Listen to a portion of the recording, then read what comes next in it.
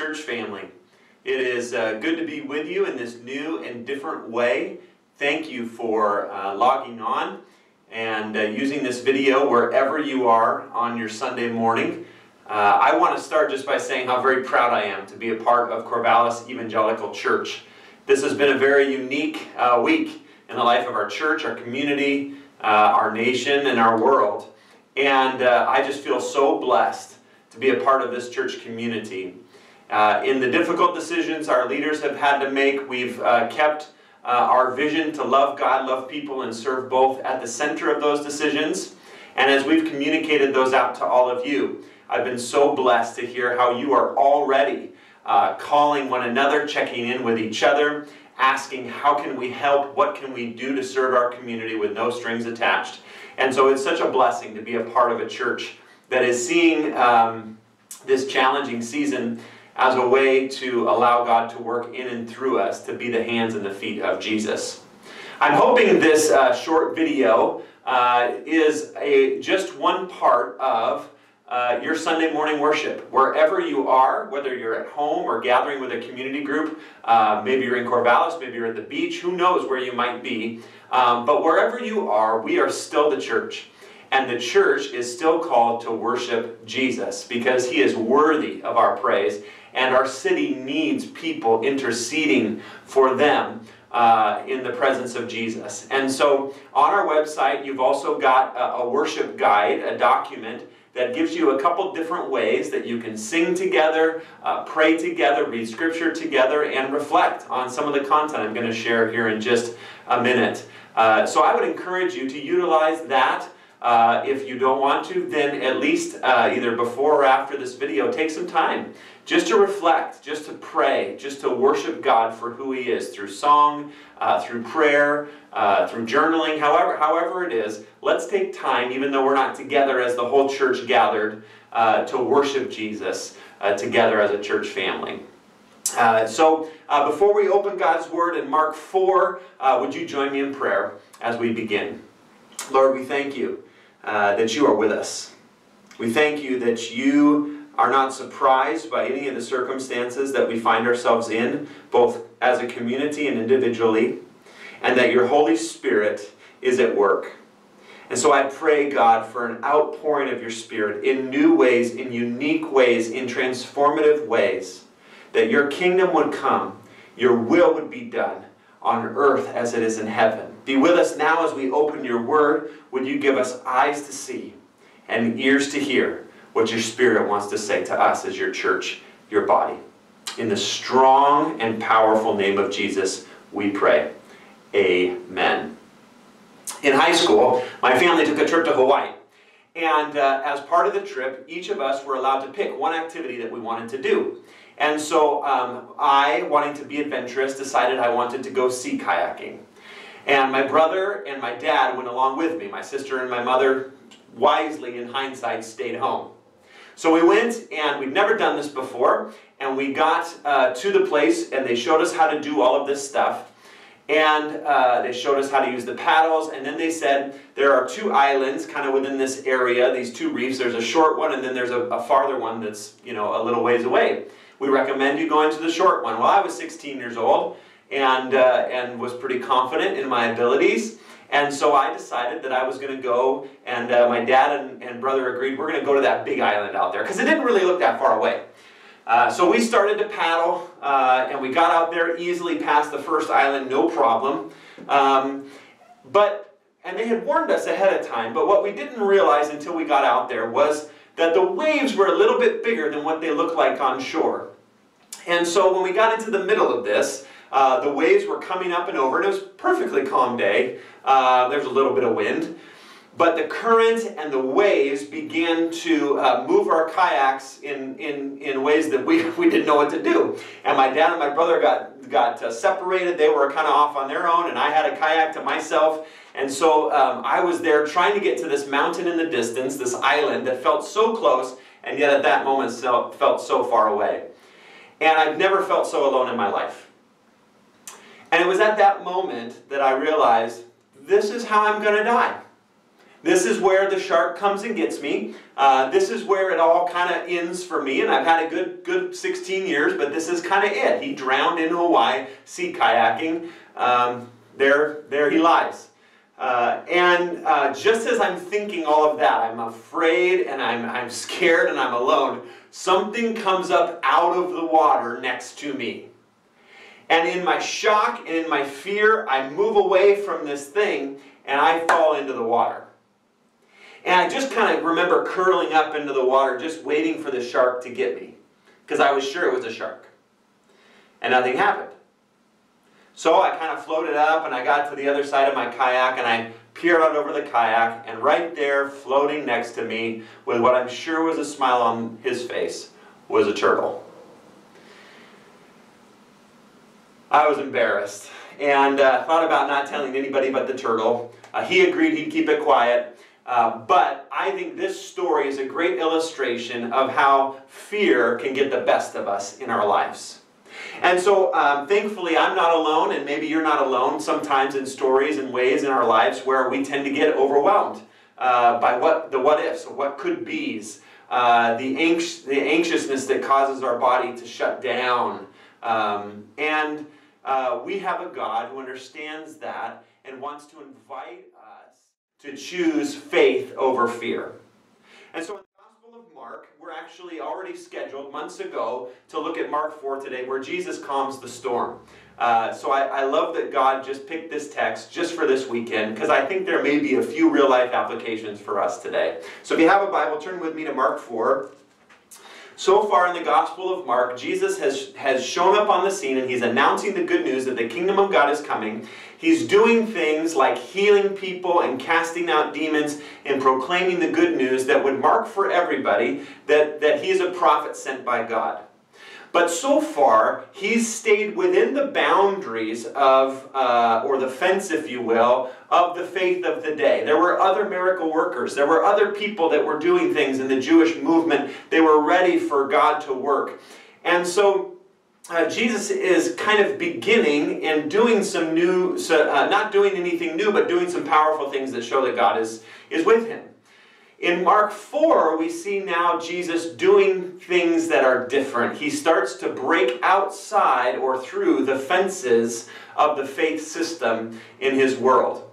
And so we see in Mark 4 that Jesus has been teaching in parables, he's been teaching in stories about the kingdom, and that it's this explosive, world changing thing that kind of, kind of breaks out of our normal parameters. And at the end of that day, in verse 35, uh, Jesus gives his disciples an instruction. It says, That day when evening came, he said to his disciples, Let's go over to the other side. Now, what you need to know about where Jesus is, is that he's at the Sea of Galilee. And the Sea of Galilee is actually a freshwater lake. Um, but on the north and the west side of the Sea of Galilee is the Jewish side. Uh, and that's where the fishermen, where Peter and James and John and many of his disciples get called. That's where Capernaum is, where Jesus has set up his home base. Okay? But on the east side of the lake is the Gentile side, the non Jewish side. And uh, most likely, many of these Jews, because they were devout, uh, did not go over to the other side of the lake. And if they did, they only went there because they had to. Furthermore, um, even though the disciples were fishermen, they would not usually go out across to the other side of the lake. They would go around uh, the shoals, the, the shoreline, and kind of work from village to village. Uh, and the reasoning for that is twofold. One, the boats were not that big. Uh, and two, uh, very, very quickly, still to this day, uh, in Israel, uh, wind and storms can come up come up quickly in the Sea of Galilee. Uh, I've been there three times. Two of the times that I was there was sunny and beautiful. One time uh, it was stormy, it was rainy, uh, and I was in a nice big boat, so we didn't have a lot to be afraid of. But it was kind of cool just to see. So Jesus says to his disciples, let's go to the other side of the lake. Okay, let's go to a new place, and he starts to push through the fences of their faith. Because Jesus' ministry, what we're going to realize in Mark, is not just for the Jewish people, it's for everybody. So, leaving the crowd behind, they took him along just as he was in the boat, and there were other boats with him. Okay? So the other boats are following him, the other disciples are following him, and we get the, the, the 12 in the boat with Jesus. Sure enough, a furious squall came up, and the waves broke over the boat so that it was nearly swamped.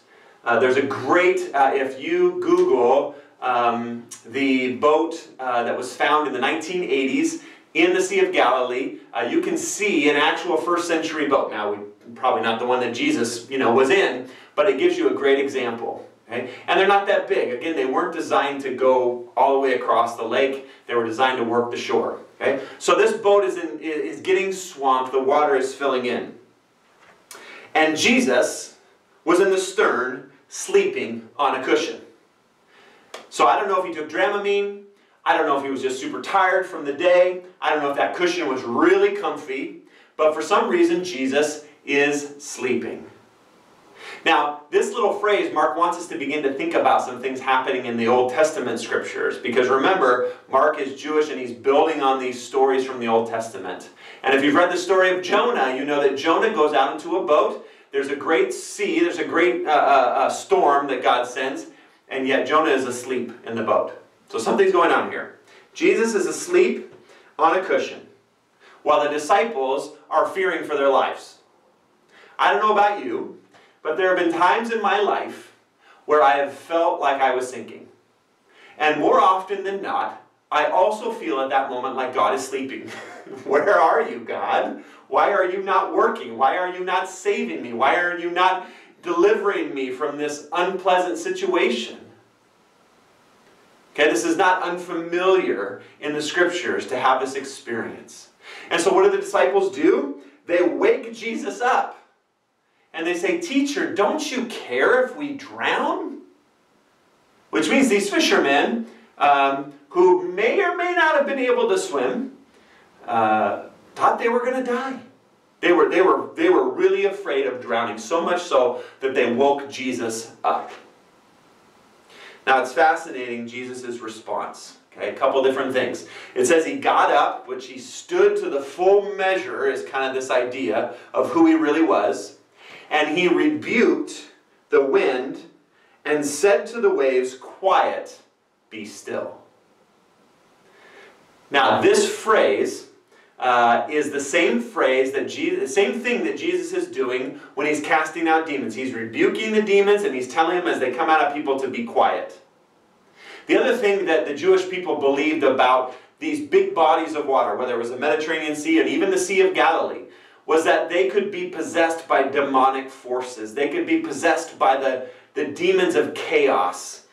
And so here is Jesus exercising authority, not just over uh, the powers at work in people's lives, but over these powers of the deep, this primordial chaos. And so Jesus gets up and he says, Peace, be still. And it says that immediately the wind died, and it was completely calm. The wind and the waves respond to Jesus immediately. He has authority over these things. Now, there's a couple really cool Psalms that talk about someone else who can do this type of thing. And I have one of them in your worship guide. I would encourage you to read it in Psalm 107. In Psalm 89, I think is where it's at. Let's see if I can get there. Yep, in Psalm 89, verse 8, here's what it says. Again, this is many, many years before Jesus. Who is like you, Lord God Almighty? You, Lord, are mighty, and your faithfulness surrounds you. You rule over the surging sea. When its waves mount up, you still them. Jesus is breaking through now the fences of their faith, and he's doing something that is completely unique. Yeah, he's doing it in a similar way as the way he was casting out demons and the way that he was healing people, but now he is exercising authority not just in the ways that they would be used to a miracle worker doing, but in a way that now only God can do. And so he calms the storm and he looks at the disciples and he says this, this powerful phrase. And if you take away anything from this short video, I would encourage you to take away this question because it's something that God has used in me these last three or four days as I'm thinking about uh, our church and how we respond, as I'm thinking about my family, as I'm thinking about our nation and our country and all the what ifs and all the possibilities and, and what the future might hold. And if I'm honest, those things cause anxiety with me. I like knowing what's coming. I like uh, uh, um, uh, having this sense of knowing how to respond. And, and when I don't, I, I feel afraid. I feel afraid. Uh, and and that, that fear comes from this place of not having control. I like it when God works within the fences of my faith. Because God and I can work together and interact, but there's these normal parameters that I'm used to. But when God starts to push outside those fences, when He starts to do different things, when the circumstances of our world start to change, that sense of control, the illusion of control that I have, begins to dissipate. And I have fear as a response.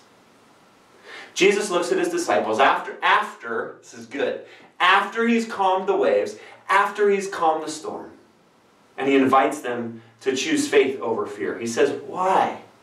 Why are you afraid? Do you still have no faith? Now, these aren't necessarily encouraging words um, to the disciples, but they're words of challenge, not just for them, but for us. When I feel fear, when I feel anxiety, I, I know what it feels like in me. It's right in here is where it happens. And maybe you have different places where it feels, or you have different triggers or different things that kind of point to, I'm, I'm, I'm feeling a little bit afraid here. Okay, the question is why? And Jesus asked us. He, he wants to be a part of that conversation. Why are you so afraid? And then the invitation is, where is your faith? Do you still have no faith? Okay, why would Jesus ask that to the disciples, to me? He's inviting us to remember who he really is. Here, Jesus has just calmed the storm. He's just done something very unique, and he's going to continue in the next couple chapters to do unique things. He's going to bust through the fences, the parameters that they're used to. He's going to heal the sick. He's going to cast out demons and Gentiles. He's even going to raise a little girl from the dead. That's a spoiler alert. He's going to do things that they're not even ready for. And so he invites them in this moment to reflect on why they're afraid and their level of faith. Because this faith in what God can do is what ultimately is going to heal these people in the next couple chapters. It's their faith that Jesus can interact with them and he can set them free from the things that ail them. He can set them free from their worry. He can set them free from their pain. Maybe not in the ways that they anticipated. Maybe not in the timing that they anticipated. But God is at work still doing what he did on the Sea of Galilee that night.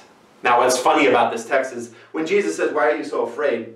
Do you still have no faith? It says they were, they were terrified. they, were still, they were still afraid. But it was a different type of fear at this point.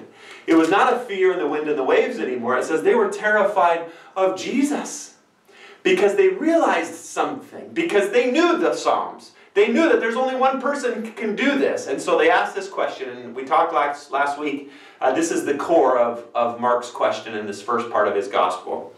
Who is this? Who is this Jesus?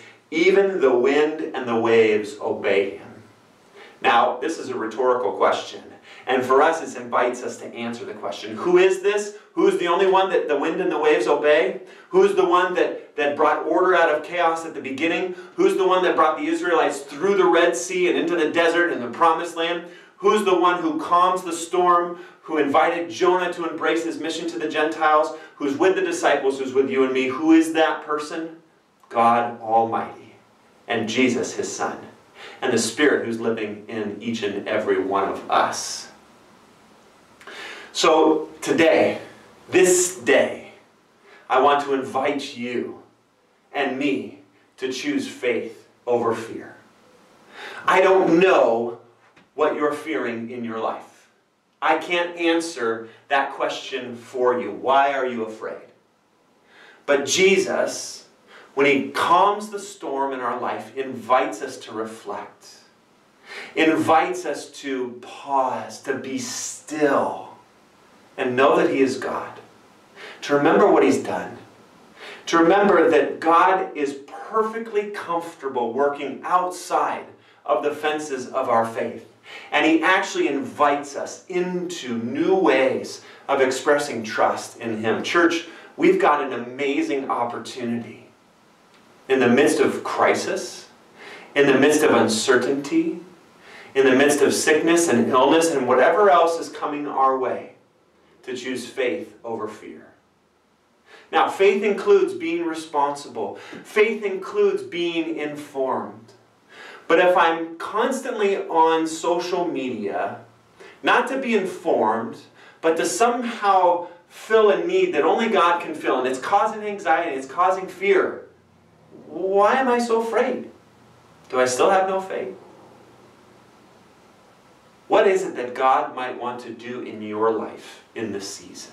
How might He be calling you to be a calm and non anxious presence in the lives of the people around you? Again, stay informed, be responsible. But may God help us to see how we can be His hands and His feet in this time where people are realizing their desperate need for God. We're going to continue to work our way through the Gospel of Mark. We're going to continue to serve our city with no strings attached. We're going to continue to reflect the grace and the compassion of Jesus. That's who we are as a church. We are going to continue to love God, love people, and serve both. May God invite you to choose faith over fear and to acknowledge that He alone is the one who can calm the storm. Amen. May God be with you as you worship Jesus, as we as the church together follow Jesus outside the fences of our faith to wherever He may lead.